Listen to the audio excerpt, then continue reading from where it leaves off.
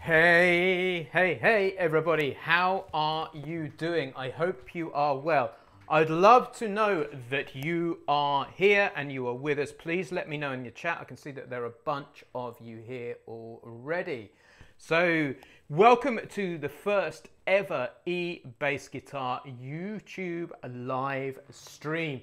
This is called How to Kick Off Your Beginner Bass Guitar Journey. So please do let me know that you're there in the chat. Um, I'd love to know what your New Year resolution, if you've got one for playing the bass guitar, is. Um, I would love to know what bass guitar you play. Um, I'd love to know what song you are working on. So please do let me know that in the chat and then we will get going.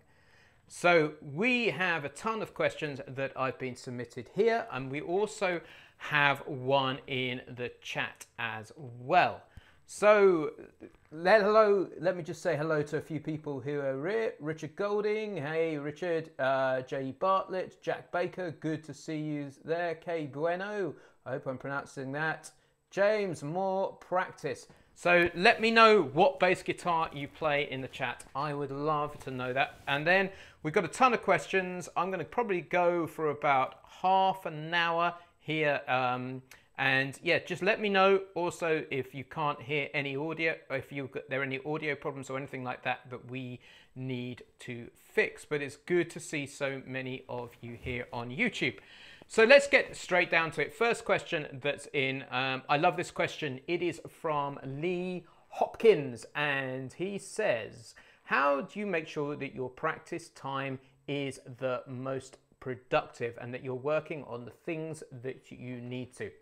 Right, this is where we have a very simple system over here at E Bass Guitar called the 3M system for. Um, practice.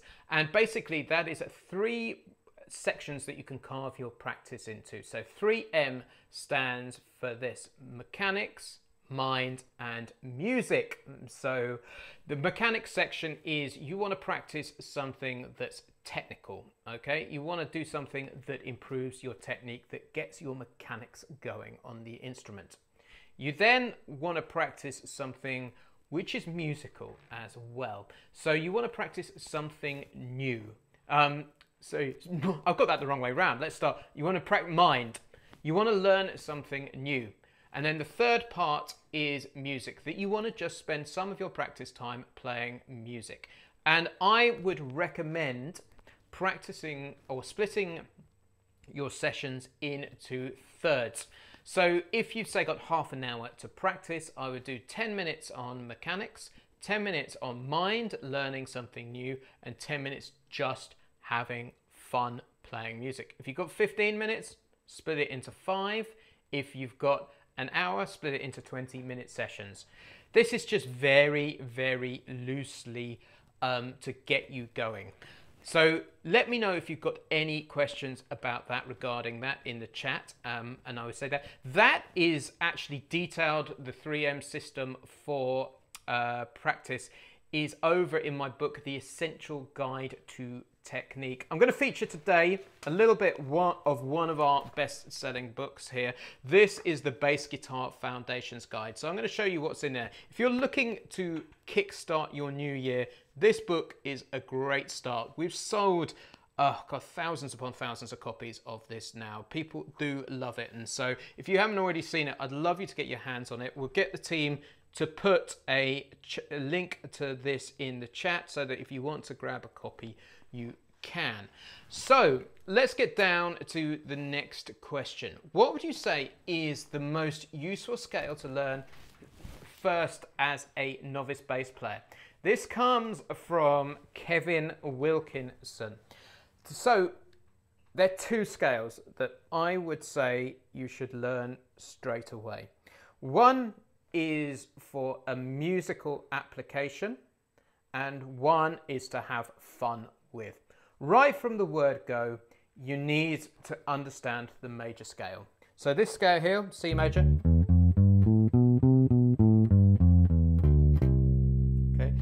This major scale is the backbone of pretty much 80% of all of Western music, I'd say.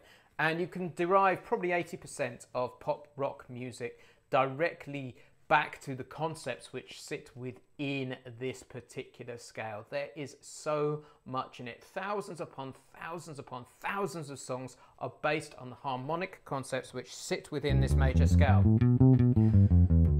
So I recommend starting to integrate that into your practice right from the word goes. The studies of the major scale, this scale, these seven notes that are within there can get pretty deep.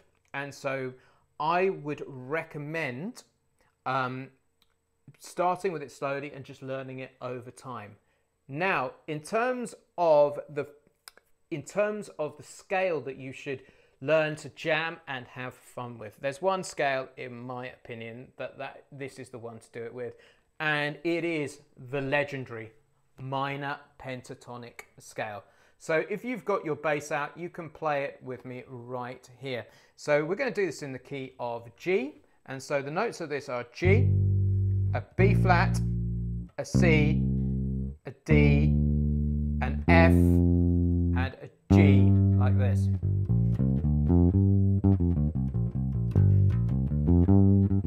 And this is where you can get some great, great sounds out of the instrument. So many great bass lines have done it. So I'm going to have a little jam on it so that you can kind of see um, there. Let me just get some drums up.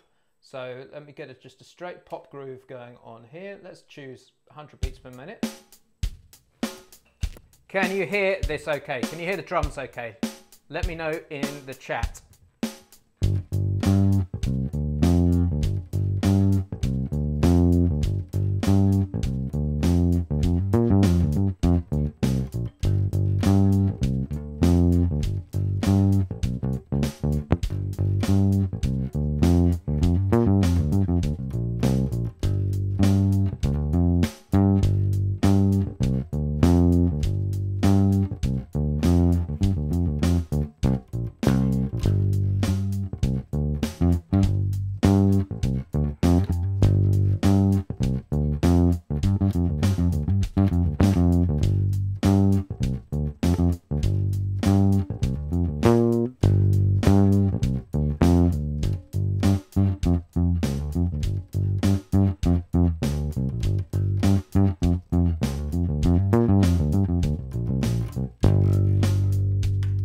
Okay, hands up. I did add a couple of extra notes in there at the beginning, but pretty much the vast majority of that was all bang on minor pentatonic scale there.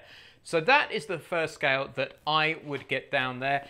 It is in the book here, the um, Bass Guitar Foundations Guide. I can just see my team have put a link in the chat there. So make sure you check that out there. Um, so those are, the, those are the two scales which I think are really, really Great. Please do ask questions in the chat. We're going to go out for about half an hour, 40 minutes. If you're liking this YouTube format, please do let me know in the chat uh, as well.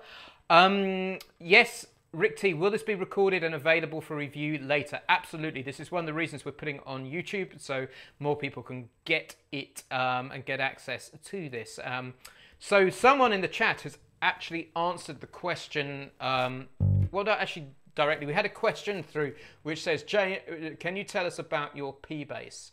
Um, so what strings are there? Uh, what strings are on your P bass here? So let's talk gear just briefly for a moment. We'll segue from music straight into gear. Um, on this bass guitar here, I have Thomastik flat wound strings. These are low tension flats, which I absolutely love on this particular bass guitar. Now, quick caveat. They're not to everyone's taste. I know that one. I've had various debates with people about them over the years, and that's completely cool. Um, for those of you who aren't aware who Thomastik are, Thomastik are very, very well known for making double bass strings. So um, Thomastik strings are um, the Thomastik jazz strings are one of the most common jazz strings used. I think even the great Ray Brown might have used it, but don't don't quote me, but they're, they're of that level strings. And Thomastik do make a set of, uh, of the same strings which go on the um, on the bass guitar, uh, which work for the bass guitar, and they have similar properties to the double bass strings. Um, so those are the P bass. Those are the strings that I use on this particular P bass to give that older retro sound. I love this. The there's so there's so much there's so much that you can do. There's so much kind of skank and funk and stuff like that within these strings there. Yeah, uh, someone said in the chat, are are they different to the Thomastik jazz flats? I believe they're the same thing. The, the, I believe they're the same strings. I'm not an authority on Thomastik strings. I'm going to say that. I've just owned the double bass strings and these strings over the years. So please do go to their website and ask there. Um, but if you want to know more about this P-Bass, I can tell you the story of the P-Bass in the live stream later. Um, also, eBass guitar mugs are available too if you want to go to our merch on the, the website. Um, so someone has asked, uh, how do you know which notes to play in the minor pentatonic? Um, that's a really interesting question and comes with a certain amount of experience, which obviously we are more than happy to give you over at ebassguitar.com um, over in the bass lab. I'm sure the team can put a link to the bass lab there um, in there. Um, but really, the key to creating those those riffs that I was doing, I will play it just very briefly again because this is a great question. Okay.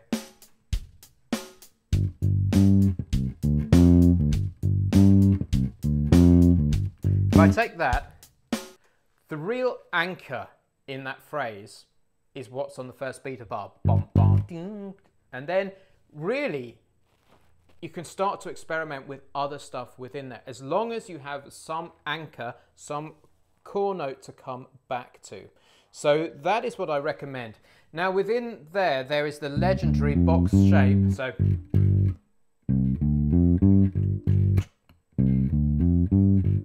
So if you just want to start off with that, that is a great little riff to play over it.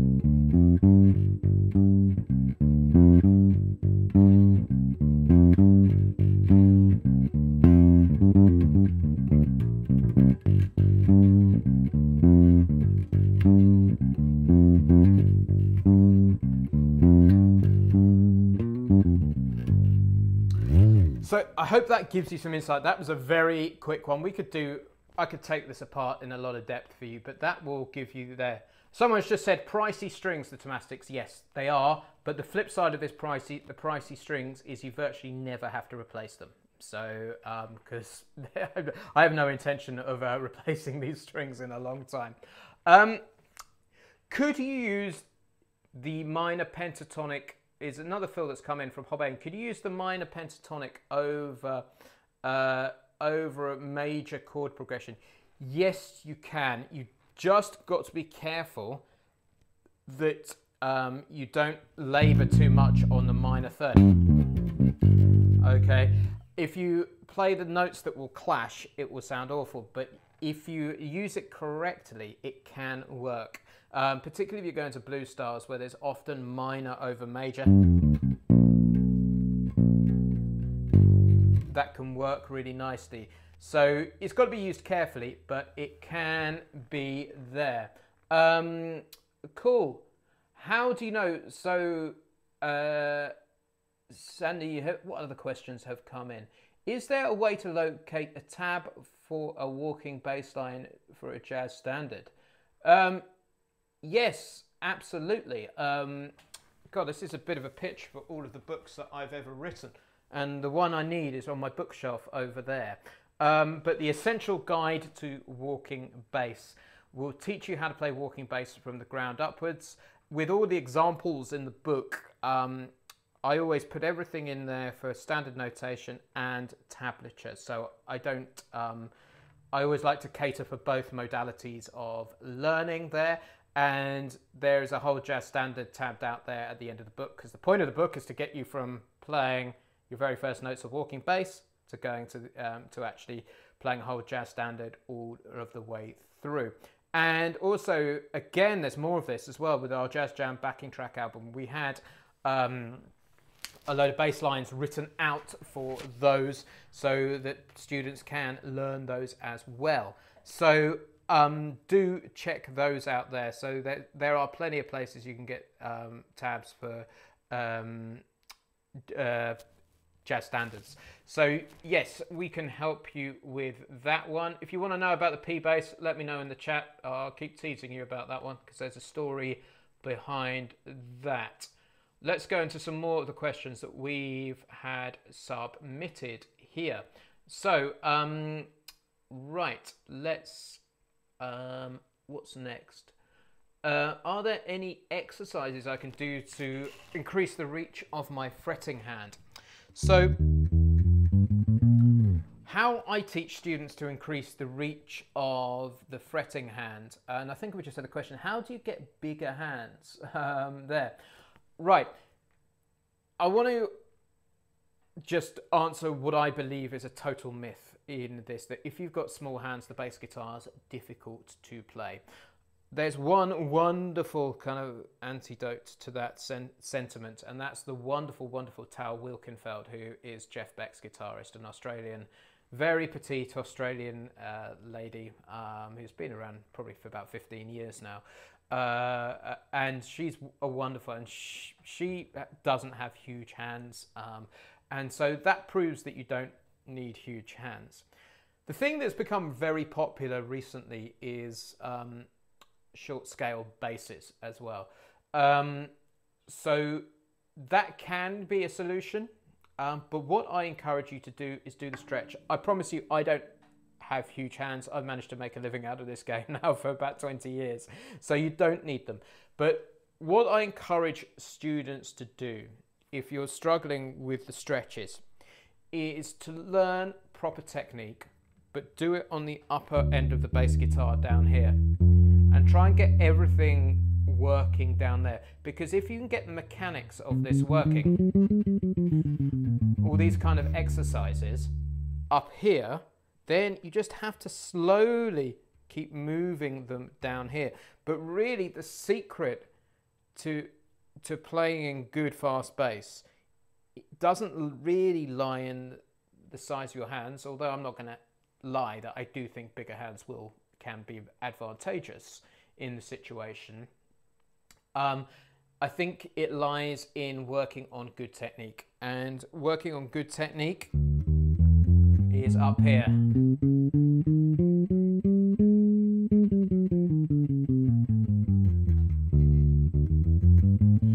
So this is what I would work on doing. That so putting each finger down one by one like so, playing nicely behind the frets like that. Have I got another camera? I can show you there. Like so, so you can see really nicely up there. And that's what you want to work on. Um, and really, if you're struggling, the most, the biggest challenge is this third to the fourth finger that you see uh, with so many players is just work on the first, second and third and get that good to begin with. And then when you're ready, add that fourth finger in like that. Don't grip too hard. You just want to maintain contact here with the strings just behind the fret. That's really what you do. If you look at what I've got going on there, they're attached, but they're not gripping super hard or anything like that. Um, so that is what I suggest doing there.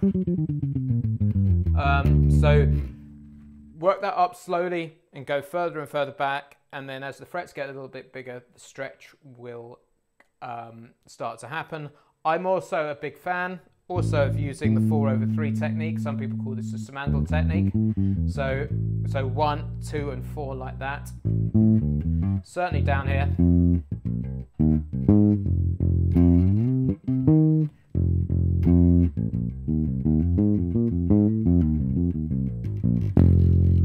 So experiment with that too, but small hands definitely shouldn't be a hindrance.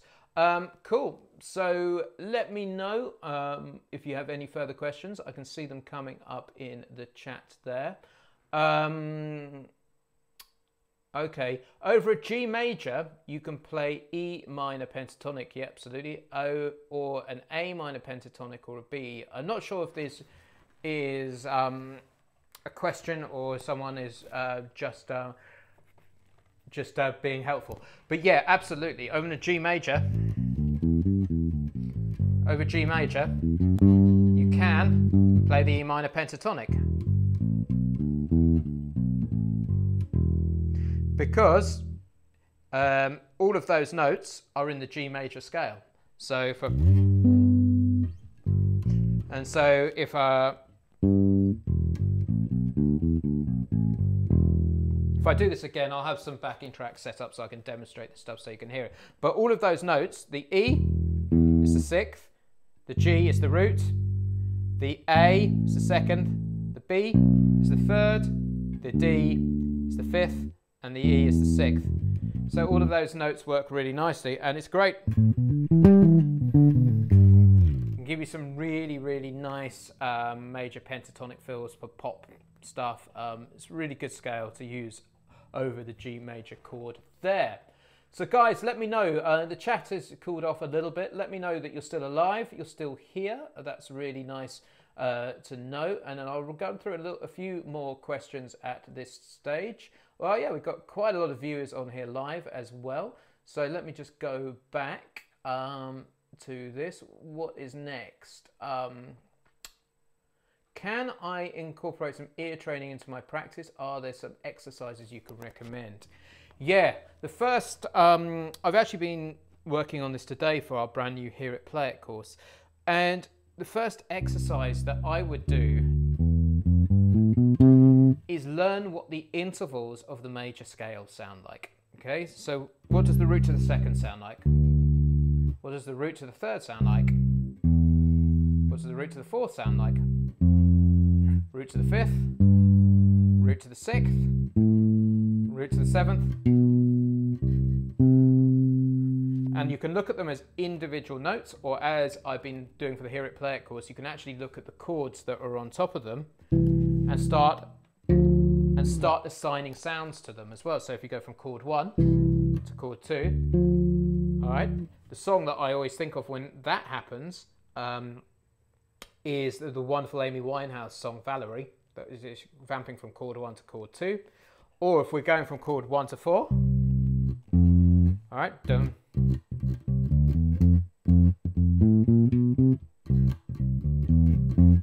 Um, it, that is the wonderful respect by Aretha Franklin or something like that.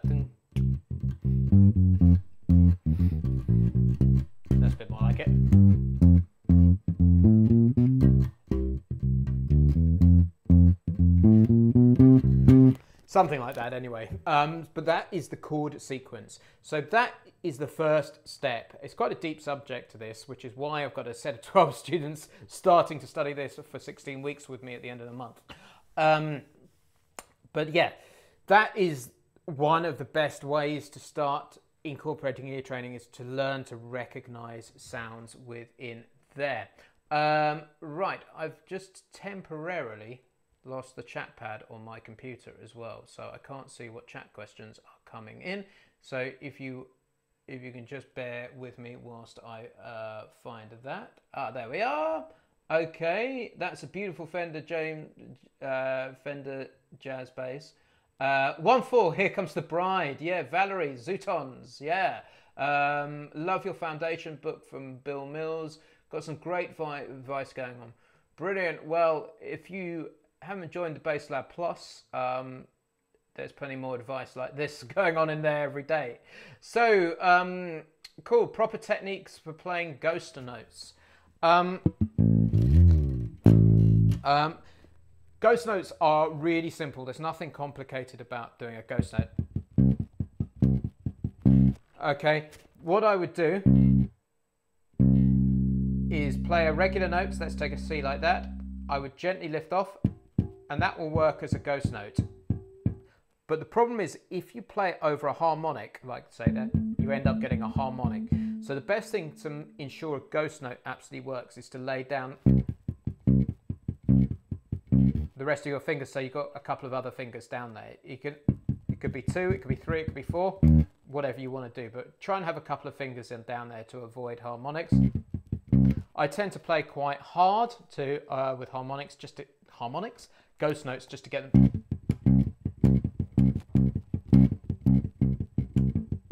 to get them to really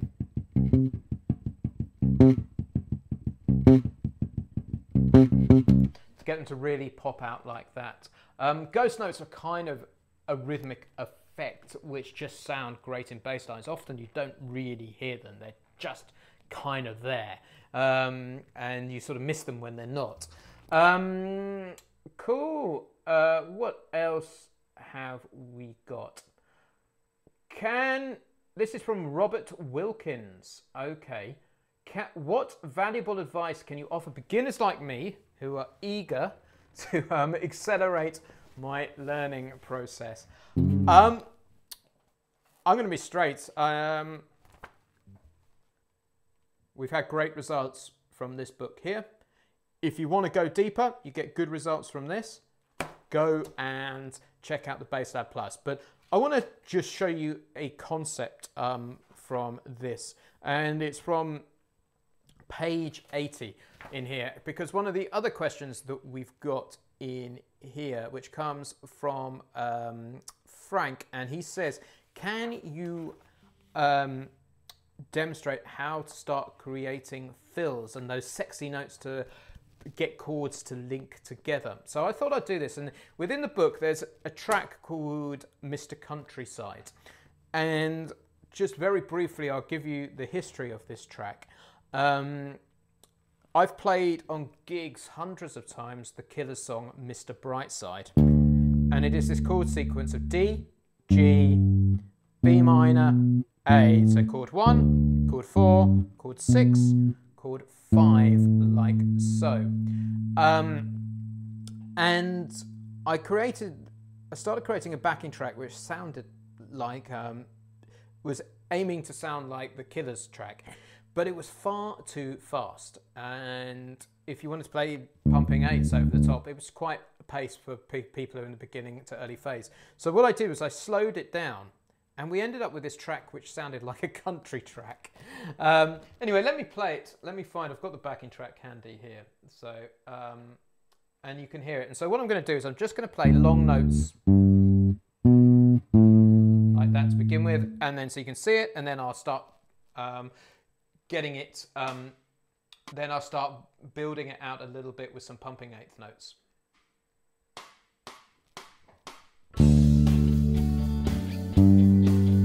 So G. I've just put, sorry, I've just put on the wrong one. I want the backing track, which is track number 94. My apologies.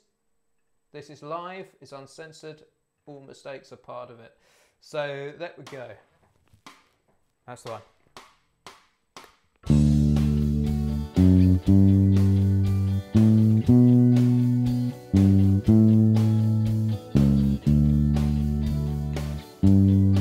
So this is just the root notes.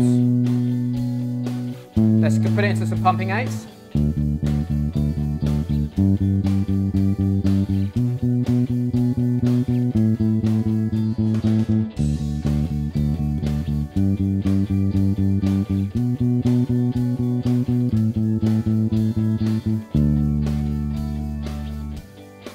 Now the question about how to start putting fills in there. The best way and I love teaching it this way, is to put what we call approach notes in there. And so what we're going to do is, we're going, everything here is derived from the D major scale. You remember I said earlier in this live stream, major scale is kind of important stuff. So, so the notes are D, E, F sharp, G, A, and then the B there. And these is the D major scale. And what we're going to do is we're going to approach every chord change from one scale note below. So we're going to approach every chord change from one scale note below. So we're going to have D to the G, and to get there, we're going to go via the F sharp in the scale, and we're going to place that on beat four of the bar. So one, two, three, four, one, two, three. Then to get to the B, we're going to go via one scale note below, which is an A, so we end up with this. One, two, three, four, one, two, three, four, one, two, three. And then to get to the A, we're going to go one scale note below the A, which is going to be a G. Two, three, and then get back to the D. We're going to go one scale note below there, it's by C sharp. And so we end up with this bass line.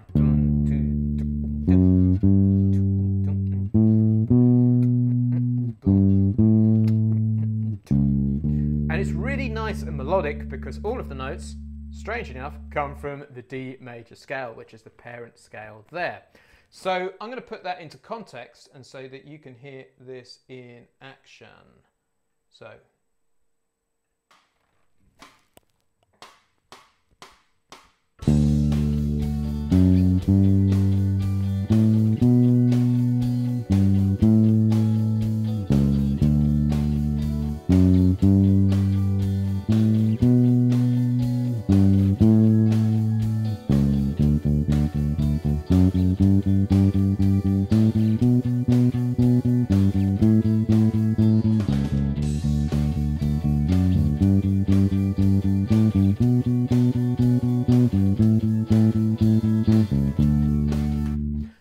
once you've got that idea down, you can start messing around with it and exploring it. You can also do uh, scalic approach notes from above as well, which can sound really, really nice. You can mix them up. This is just the tip of the iceberg. Um, so that is inside uh, page 80 of the bass guitar foundations guide right there. If you want to start your bass guitar playing journey off right from playing your very first notes and do it really practically in a really practical way, um, that's what I'm trying to say, um, then this is a great way to do it. And by the end of the book, you will play your first full rock song from beginning to end. So that's what you can expect to achieve. We'll put links to that in the chat. Um, I'm going to go for about another five or six minutes. Um, and I just want to check the chat for any um, any last questions that are in there. Um, so let me see. I've lost the chat pad. Why does it keep disappearing from me? Um, there we go. What's? Let me see. Hold on. Oh, there it is. It's back. It's back. It's bass Uh, BassLab Plus. Uh, it has it all for 200 bucks for a year. It's great learning value. Check it out. So that's from Rick Castellanos there. Yeah, brilliant. Um, you guys have said it all. Um, I don't really need to mention too much harder when there's guys like Rick putting it all in there. Um, the BassLab Plus is my full step-by-step -step program, which goes right from the beginning to making you a bass guitar gig-ready player, ready to get out there and really do it. Um, so if you want to join a worship team, you want to um, join a cover band, you want to go to a jam session, it'll teach you all of the skills there. Um, so that's there. Um, what last questions have we got here? Um, the questions keep coming in there. Any good ideas for acoustic bass tracks to practice? I'm going to be straight. I don't know the answer to that one. Acoustic. By do you, by that do you mean double bass, um, or do you mean acoustic bass guitar? Interesting. Let me know that one in the chat. Um, okay. All right, question here. I'm going to do two more questions in here. I'm going to talk about the P bass and I'm going to I'm going to talk about diminished chord. Um, how what do I play over a diminished chord? Now, diminished chords can be quite complicated beasts. Diminished chords are effectively chords that link two chords together.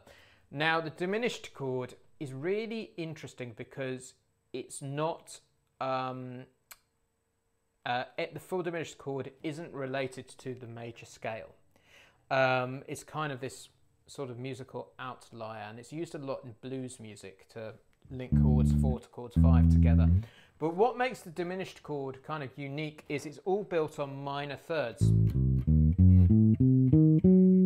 And so you get this wonderful pattern like that, which you can play over the neck. So really, you know, from a practical application, when I play a diminished chord, I'm really work on that. I don't use too much of the diminished scales or anything like that, although you can do, they can work. But really, the most powerful thing, and it creates a really cool pattern on the fretboard that kind of crabs its way over, like so. So if you want to play an A diminished, for instance, the notes are A, C, shift one fret forward, go uh, E flat, G flat, and then you're up to uh, you back up to the A, and that pattern just keeps going. Like that. So that's really the simplest way of approaching a diminished chord.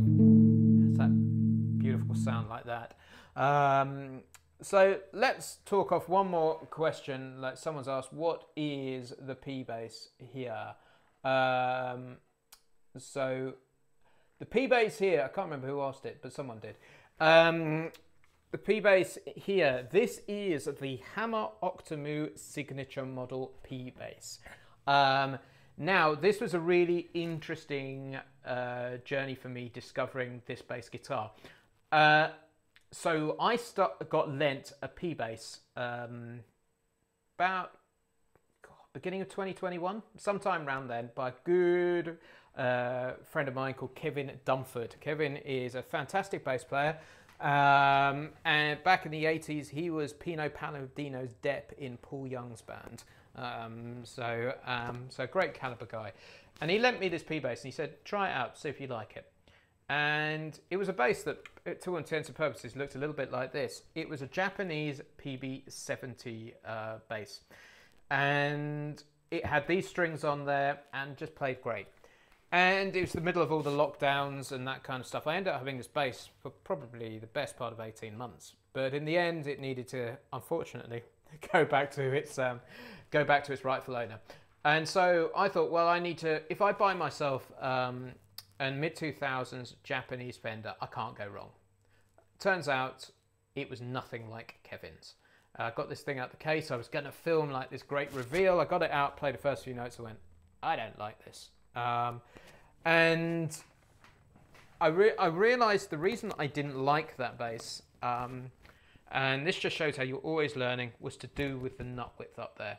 It had a P-bass nut width, which is something like 40 or 42 mil, but a jazz bass has a nut width of about 36 up here, so it's a slimmer neck.